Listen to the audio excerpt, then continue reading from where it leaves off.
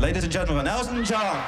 Er verstellt sich nicht. Schonungslos ehrlich zeigt sich Elton John in einer Doku über sein Leben. Ich hatte nichts außer meinen Erfolg und meine Drogen. Eine Karriere jahrzehntelang auf der Überholspur. Darauf war ich nicht vorbereitet.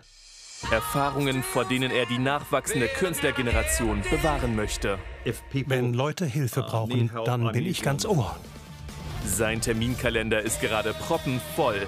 Hier ein Treffen mit Großbritanniens Premierminister Keir Starmer. Dann rührt er die Wärmetrommel für die neue Musikdoku. Und außerdem hat er neue Lieder komponiert. Nicht für ein Album, sondern für das Musical Der Teufel trägt Prada.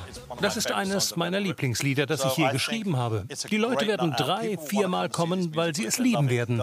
Es ist echt hart. Ich bin in meinem Leben nie drei oder viermal gekommen.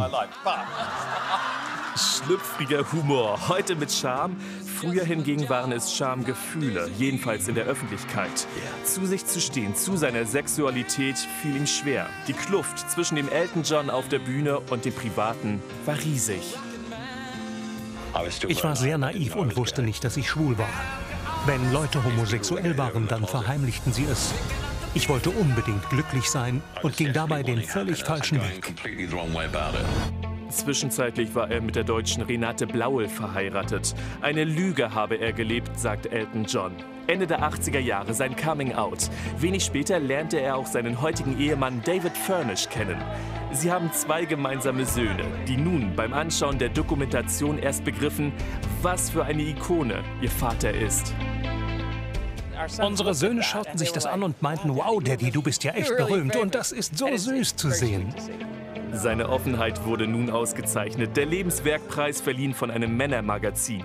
Die Auszeichnung ein kleines A, bei dem Elton John ins Rätseln kam, wofür der Buchstabe eigentlich steht. Mir kommt Arschloch in den Sinn, aber lasst uns heute Nacht nicht über Elon Musk reden. Elton John hat keine Scheu davor, sich mit dem reichsten Mann der Welt anzulegen. Während Elon Musk keinen Hehl daraus macht, für wen er im Präsidentschaftswahlkampf ist, lässt Elton John höchstens zwischen den Zeilen durchblicken, ob er eher dem Lager der Republikaner oder dem der Demokraten zugeneigt ist. Ich würde meinem Publikum niemals sagen, wie es wählen oder welche Religion es angehören soll. Aber Menschen zu helfen, die Probleme haben, sehe ich als meine Verantwortung. Gutes Beispiel Schauspieler Kevin Spacey. Als der vergangenes Jahr vor Gericht stand wegen des Vorwurfs des sexuellen Missbrauchs, entlastete Elton John ihn. Anderer Prozess. Prinz Harry und Elton John verklagten gemeinsam einen britischen Zeitungsverlag. Sie warfen den Journalisten vor, für Informationen Telefonleitungen angezapft und Wanzen verwendet zu haben. Inkonsequent wirkt es da, dass der Sänger Auszüge seiner Biografie ausgerechnet beim verfeindeten Verlag abdrucken ließ.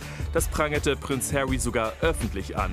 Aber, wie es nun mal ist, jede gute Freundschaft erlebt Höhen und Tiefen.